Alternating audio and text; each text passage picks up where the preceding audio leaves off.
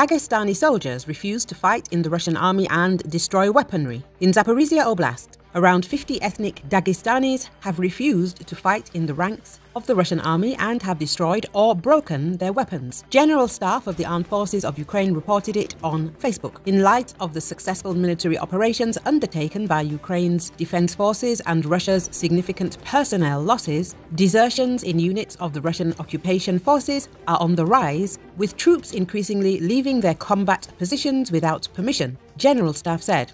The General Staff reported that about 50 ethnic Dagestani soldiers from the Caspian flotilla had refused to take part in hostilities near the village of Dorozhnyanka in Zaporizhia Oblast. The deserters had also rendered their unit's weapons unusable, and the arms available in the unit were put out of order, the General Staff said. The General Staff further reported that Russian forces were continuing to use the civilian population as a human shield. For example, Russian military leaders are housing their soldiers in, in Topolivka, Kherson Oblast, in private houses where civilians still live.